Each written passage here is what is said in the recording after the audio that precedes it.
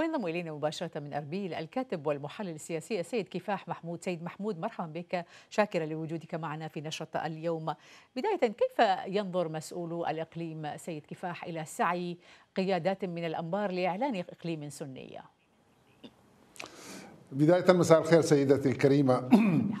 أعتقد إن يعني مسألة مسألة الأقاليم مسألة دستورية ونص عليها الدستور العراقي في 2005 ووافق عليه أو وافقت عليه كل الكتل السياسية، لكن الغريب أنه حينما بدأت بالمطالبة يعني منذ أواخر 2009 و2010 و2011 حينما طالبت الأنبار أو صلاح الدين والبصرة حقيقة يعني صعقنا جميعا بالرد العنيف للسلطات الاتحادية وللكتل الرئيسية في البرلمان.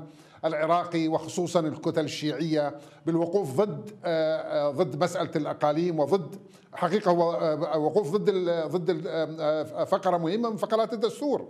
ولذلك هذه المبررات التي يضعونها أنه الوقت غير مناسب ووضع العراق غير مستقر.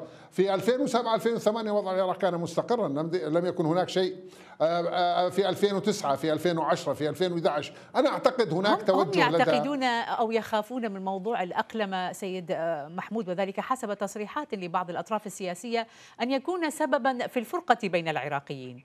لذلك لا يودون اللجوء إلى موضوع الاقليمه لا أعتقد هذا يعني هذه شماعة يعني شماعة بائرة جدا. وقد اعتمدتها كل الأنظمة منذ 1921 وحتى سقوط نظام صدام حسين في 2003 الكل كان يتعكز على أن العراق سيتقسم وسيتجزأ وإلى آخره. كردستان مستقله استقلال ذاتي من 1991 ولم تنفصل عن العراق وهي إقليم فيدرالي ويتفاخر به العراقيون من البصرة وحتى الموصل. لكن كان هناك أيضا استفتاء من إقليم كردستان لينفصل عن العراق.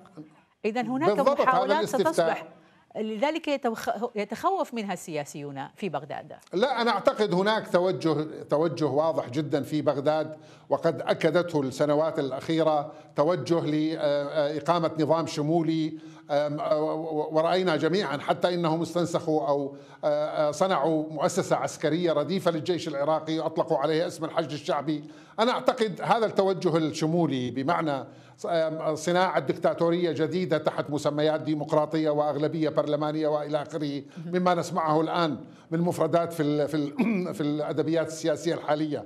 الأقلمة مادة دستورية. عليهم أن يعدلوا الدستور ويلغوا فكرة الأقاليم ونحتفظ في العراق ب بإقليمين إقليم كردستان وما تبقى من البلاد.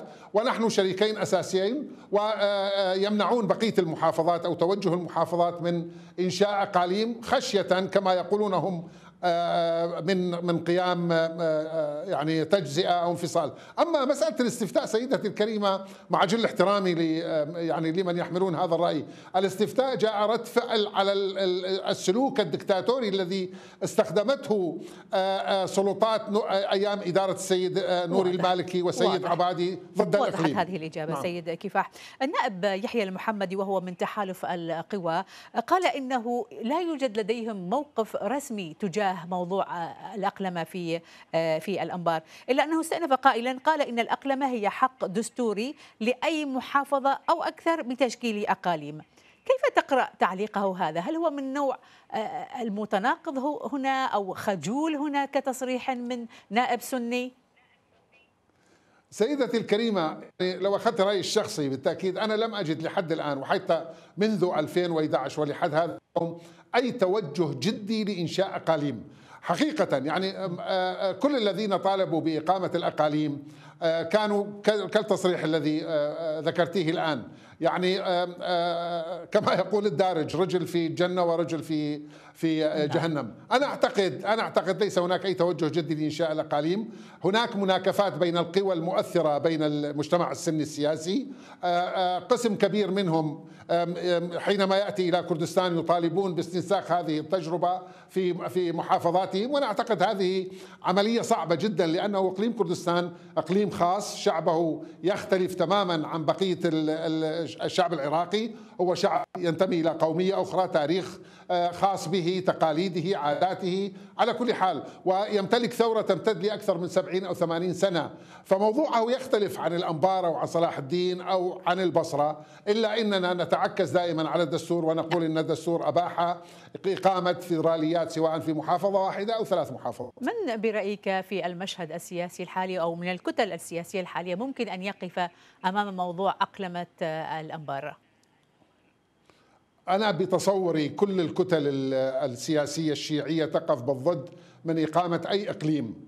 وهذا واضح جدا في خطابهم السياسي تحت مختلف الذرائع والأسباب. ومنها كما تعرفين أنه ظروف العراق غير مؤاتية، نحن نتعرض لحرب شعواء، العراق محتل من قبل الأمريكان وإلى آخره، أنا أعتقد ال ال هذه القوى لن تسمح بإقامة أي إقليم في العراق غير إقليم كردستان. هل الأرضية برأيك سيد محمود مهيئة إقليميا ودوليا ومحليا لإقامة آه، الإقليم برأيك؟